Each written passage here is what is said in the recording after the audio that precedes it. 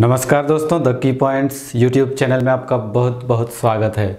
दोस्तों, एक बार फिर से हाजिर हैं झारखंड सामान्य ज्ञान की क्लास में और आज के क्लास में हम देखेंगे झारखंड के वन्य अभ्यारण्य तथा जैविक उद्यानों के बारे में।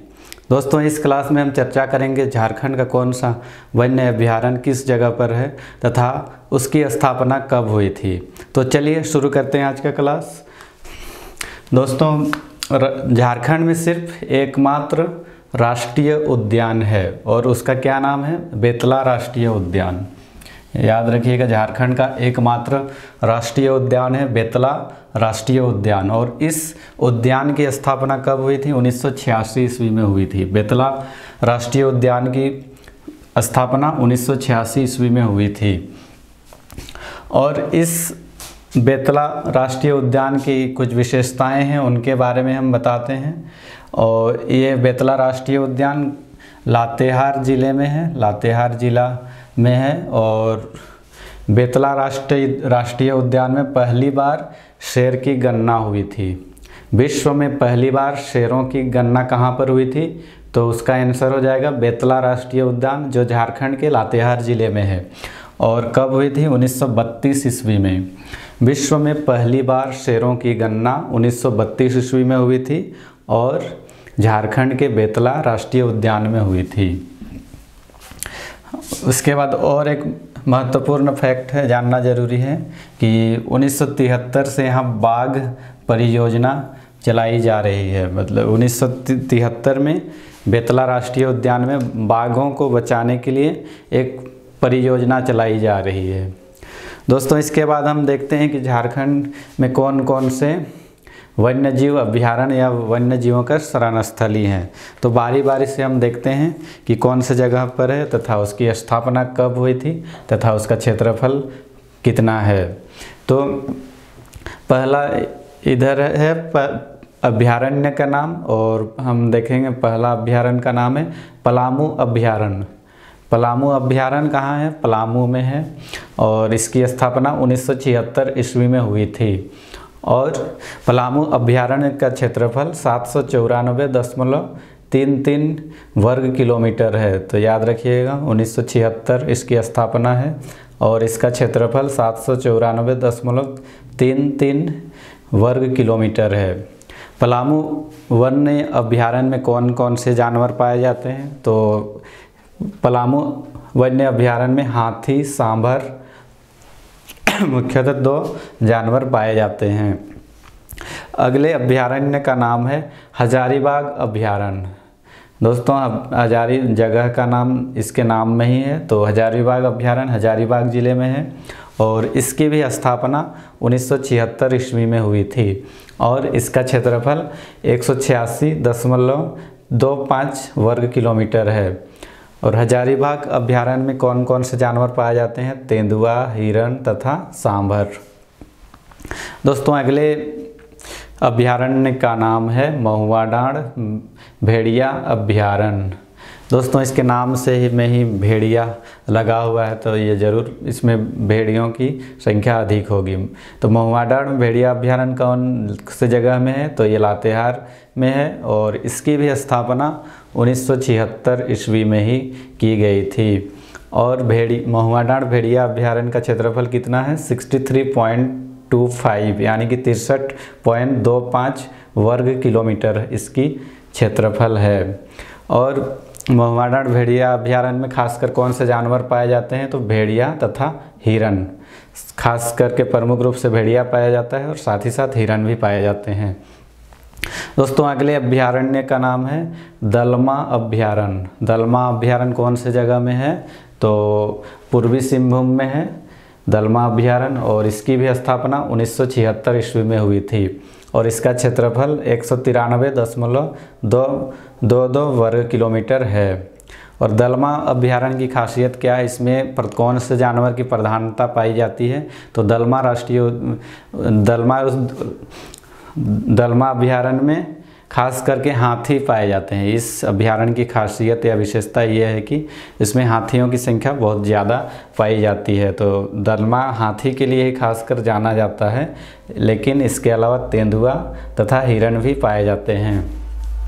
दोस्तों, अगले अभ्यारण्य का नाम है तोप, तोपचाची अभ्यारण्य। तोपचाची अभ्यारण्य कहाँ पर स्थित है? धनबाद में। और इसकी स्थापना कब हुई थी? 1978 यानी इसके, इससे पहले जो चार अभ्यारण्य थे 1976 ईस्वी में स्थापित थे। इस इस अभ्यारण्य की स्थापना 1978 यानी कि दो साल बाद। और इसका क्षेत्रफल कितना है? आठ दशमलव सात पाँच वर्ग किलोमीटर। तो चाँची अभ्यारण्य धनबाद का क्षेत्रफल। और इसमें कौन से वन्य जीव पाए जाते हैं? तो तेंदुआ, हिरण, जंगली भालू आदि। उसके बाद अगले अभ्यारण्य का नाम है लावालोंग अभ्यारण्य लावालोंग अभ्यारण्य जो चतरा जिला में है। और इसकी भी स्थापना 1978 ईस्वी में हुई थी और इसका क्षेत्रफल है 207 वर्ग किलोमीटर। और इसमें लावालोंग अभ्यारण्य में कौन कौन से जानवर पाए जाते हैं? मुख्यतः बाघ तेंदुआ, नीलगाय, हिरण, सांभर। तो एक चीज़ याद रखिएगा, खासकर नीलगाय। और सांभर। दोस्तों, अगले अभ्यारण्य का नाम है पारसनाथ अभ्यारण्य। पारसनाथ की पहाड़ी कहाँ पर स्थित है? गिरिडीह में। और इसकी स्थापना उन्नीस सौ इक्यासी ईस्वी में की गई थी। और इसका क्षेत्रफल 49.33 है। और इसमें कौन कौन से जानवर पाए जाते हैं? तेंदुआ, सांभर, हिरण, नीलगाय आदि।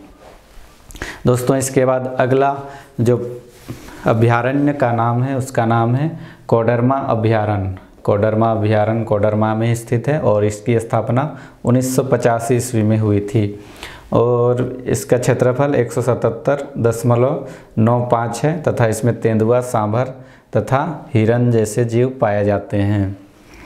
अगले वन्य अभ्यारण्य का नाम है पालकोट अभ्यारण्य गुमला। पालकोट कहाँ पर स्थित है? गुमला जिला में। और इसकी स्थापना 1990 में हुई थी और इसका क्षेत्रफल एक है। और इस इस अभ्यारण यानी कि पालकोट अभ्यारण में जो मुख्य जीव हैं वन्य जीव वो कौन कौन से हैं? तेंदुआ, जंगली हाथी, भालू आदि। दोस्तों, अगला अभ्यारण्य है उधवा पक्षी, झील पक्षी विहार। उधवा झील पक्षी विहार और ये साहेबगंज में है। देखिए, ये थोड़ा अलग किस्म का है तो इस आपको याद रहना चाहिए उधवा पक्षी विहार के नाम से जाना जाता है।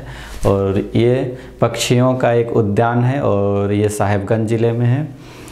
तो और इसकी स्थापना उन्नीस सौ इक्यानवे ईस्वी में की गई थी और इसका एरिया बहुत कम है, पाँच दशमलव छः पाँच वर्ग किलोमीटर के क्षेत्र में ही इसका विस्तार है। और इसमें ये पक्षियों का एक अभ्यारण है तो इसमें कौन कौन से पक्षी पाए जाते हैं तो इस, इनका नाम याद रखिएगा। एक है बनकर नामक पक्षी जलकौआ बटान खंजर किंगफिशर आदि।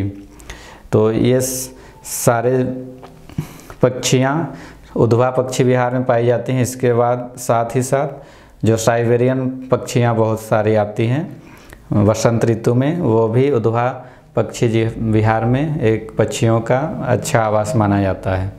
दोस्तों, अगला जो अभ्यारण्य है, राजमहल पक्षी विहार, वो भी पक्षियों का ही उद्यान है। और इसमें कौन कौन से जीव पाए जाते हैं? कबूतर, चुड़ुल, मधुमक्खी, बुलबुल, खंजन आदि। तो ये थे हमारे झारखंड के वन्य अभ्यारण्य। उम्मीद करते हैं आपको ये सब आपके दिमाग में बस गया होगा और यदि याद नहीं रहता है तो इस वीडियो को देखिए बार बार देखिए रिपीट कीजिए या नोट्स करते जाइए ताकि आपके दिमाग में याद रहे। अब देखते हैं झारखंड में कौन कौन से जैविक उद्यान हैं और किस जगह पर स्थित है। तो बिरसा भगवान जैविक उद्यान है और ये कहाँ स्थित है? रांची में स्थित है, रांची के और माझी में और इसकी स्थापना उन्नीस सौ चौरानवे ईस्वी में हुई थी। बिरसा जैविक उद्यान की स्थापना उन्नीस सौ चौरानवे ईस्वी में हुई थी। उसके बाद है Jawaharlal Nehru city park. Jawaharlal Nehru city park Bokaro में है। उसके बाद है मगर प्रजनन केंद्र, रुक, रुक्का रांची। मगर प्रजनन का केंद्र है रांची के रुक्का नामक जगह में और इसको I U C N programme के तहत उन्नीस सौ सतासी में इसकी स्थापना की गई थी। उसके बाद है बिरसा मृग विहार। और ये भी रांची ज़िले में है, कालामाटी नामक जगह में। और बिरसा मृग विहार में सांभर और चीतल के संरक्षण के लिए इसकी स्थापना की गई है।